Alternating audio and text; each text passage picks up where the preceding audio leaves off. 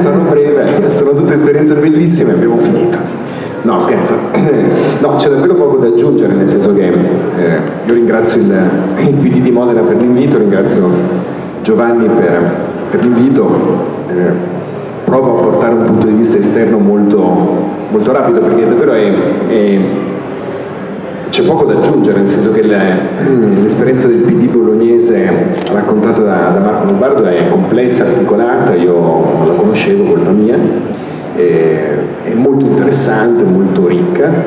Eh, le cose proposte dagli ottimi, il percorso individuato dagli ottimi Giovanni e, e Andrea è molto interessante. E allora, con uno sguardo esterno, quello che mi viene da commentare è eh, che questa esigenza di formazione, la comprensione della necessità di formare è, e non solo per quanto si tratti di un gruppo dirigente fondamentale, non solo rivolto agli amministratori, è molto interessante ed è un segnale di salute da parte di un partito liquido, anche se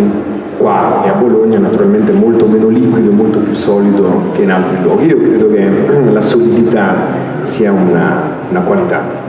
un signore con la barba che ha formato generazioni di rivoluzionari socialisti mm, diceva che tutto ciò che è solido si dissolve nell'aria. Eh, eh, il Signore ha avuto un ruolo importante, è stato dimenticato, adesso è stato in parte recuperato per esempio da un economista che si chiama Thomas Piketty, che è l'oggetto della discussione più forte dal punto di vista del, diciamo, dei fondamenti dell'economia politica di questi mesi e si può leggere questa frase marxiana in tanti modi, una delle frasi più esoteriche di Marx, che aveva una componente, come sapete, eh, diciamo abbastanza vicina ad un certo esoterismo messianico ebraico come ha messo in luce Gershon Scholem, ma tutto ciò che è solido si dissolve nell'aria qui può essere letto in termini di contaminazione per l'appunto di eh, diffusione di pensiero. Eh, quindi davvero c'è poco da, da, aggiungere, da commentare, se no eh, un elemento che mi permetto di, di, di inserire è che questo, insieme alle buone pratiche, alla ricostruzione del tessuto comunitario eh, di, della formazione politica in cui militate, che è importante, che è fondamentale, soprattutto in una fase di eh, dissoluzione, di liderismo molto spinto, guardate bene, non si può vivere e fare politica nell'epoca postmoderna senza leader e questa è una lezione che la sinistra a lungo non ha capito e che oggi ha capito un po' torto collo, a tal punto da identificarsi in una maniera, a mio giudizio, un po' troppo pedissequa e per questo un po' rischiosa con un unico leader, mentre servono vari leader. Eh, però al tempo stesso non ci può essere un partito come agenzia di socializzazione, agenzia di azione politica, agenzia cognitiva come direbbe Barca e si è molto ironizzato su questo, abbiamo fatto un dibattito alla festa dell'unità, cioè Festa Reggio ribattezzata la festa dell'unità dieci giorni fa a riguardo, se non c'è un gruppo di persone il più largo possibile, fatto di dirigenti, di militanti, ma anche capace di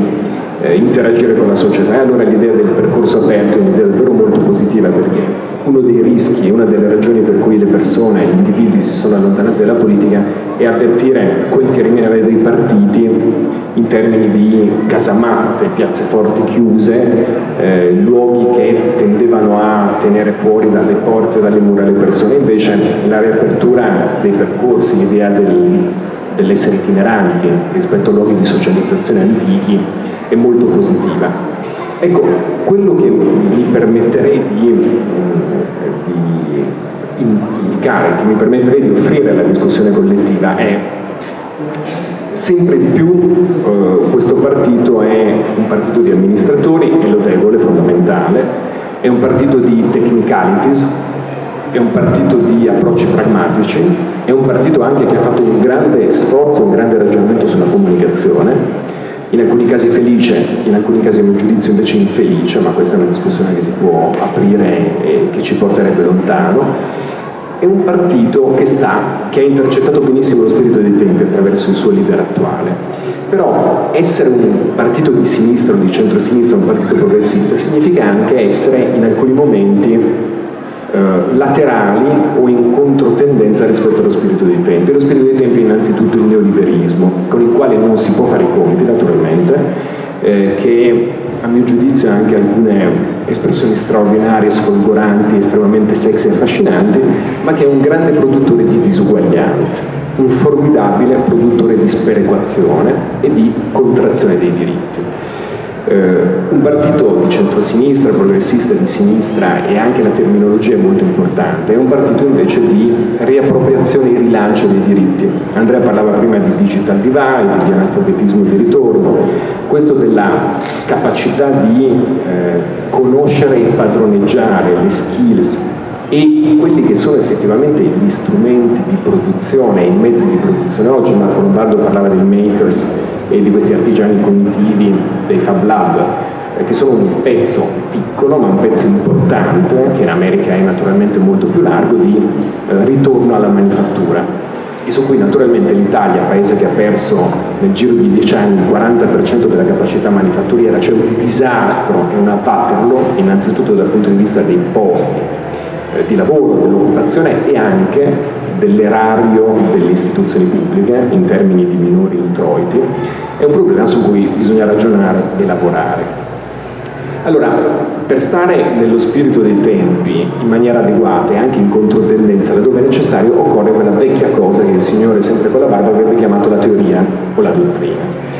Eh, il Partito Democratico è un partito di buone prassi, soprattutto attraverso i suoi amministratori e agli amministratori bisogna rivolgere un applauso non per fare dei salamelecchi o per eh, costruire piaggeria, ma perché in eh, situazioni complicatissime, dal terremoto alla eh, riduzione progressiva eh, de, del capacity spending fino a questa follia tutta italiana del patto di stabilità all'interno di un'altra follia che è il vincolo del 3%, che è insostenibile, che la Germania per prima e la Francia hanno ampiamente forzato e fatto saltare, allora in tutto questo forse c'è bisogno di elaborare dottrina, di elaborare pensiero naturalmente non spetta unicamente al PD di Modena o al PD di Bologna, ma forse per costruire un pensiero che soprattutto se quello che un tempo si chiamava il centro, cioè Roma, è in tutt'altre faccende affaccendato, eh, anche a colpi di tweet, sarebbe bene che in qualche modo venisse rimesso in circolo. E per rimetterlo in circolo bisogna costruire un dialogo, un patto, per usare un'espressione che Marco Lombardo utilizzava frequentemente, con soggetti che stanno altrove con soggetti che non necessariamente sono attratti dalla, eh, diciamo dalla formula del Partito Democratico, ma che magari nel Partito Democratico, un unico partito liquido ma solido presente in campo, trovano un interlocutore e un soggetto eh, col quale confrontarsi perché di fatto si tratta dell'unica macchina partitica presente in questo paese in questo momento. E io penso che sia bene che diciamo, continui a resistere e a intercettare il consenso il più a lungo possibile. E per fare questo bisogna, bisogna, davvero, per fare questo bisogna davvero produrre contaminazione, bisogna davvero rivolgersi a pensieri lontani. Io credo che il, mm, rivolgendo nuovamente una lode sincera e anche con un po' di ammirazione al lavoro che il PD di Modena ha avviato e condurrà nei prossimi mesi e al percorso che il eh, di Bologna ha portato all'approdo recentemente, davvero rivolgendo lode e ammirazione, penso che se potete, dovete aggiungere qualcosa, forse questo sta in un tentativo di produrre un pensiero, una dimensione teorica, una griglia teoretica, senza la quale la politica può essere grande amministrazione, ma come ci insegna la storia dei partiti italiani, in questo recupero davvero eh, alcune delle cose molto giuste che dicevate prima, cioè in un'altra epoca la capacità di governare una nazione che diventa ancora più importante in un'epoca di interrelazioni, di interazioni, di globalizzazione, occorre un sistema complesso, occorre una teoria, occorre un pensiero alto in grado di interconnettere che naturalmente deve andare oltre le naturalmente buonissime e utili pratiche e che deve fare da guida. Se eh, diciamo, il partito da cui viene questi luoghi, cioè il Partito Comunista, in mezzo a una caterva di difetti, ha avuto un ruolo importante, è stato quello del far sì che dall'ultimo paesino e villaggio rurale della Sicilia fino alla Emilia Arretrata, fino a Torino, grande centro di produzione culturale, tutti quelli che aderivano e sottoscrivevano la tessera di quel partito si sentivano parte di un grande processo di emancipazione nazionale e naturalmente di un grande processo di emancipazione universale. E internazionale. Allora occorre, soprattutto nell'epoca globale, che di fronte alla disparità tra quello che un tempo si sarebbe chiamato il capitale, che è diventato una cosa sofisticatissima, che a Marx sarebbe piaciuta tantissimo, cioè pura transazione e transumanza di simboli, di moneti, di currencies, di valute attraverso mezzi tecnologici, occorre che alla impressionante e straordinaria anche ammirevole, Marx l'avrebbe davvero ammirata, capacità del capitale finanziario di spostarsi, riducendo i paesi e gli stati-nazioni in povertà molto spesso, ci fosse un pensiero alternativo, non violentemente conflittuale, ma capace di costruire alterità di sinistra, di centro-sinistra progressista, altrettanto globale. Grazie.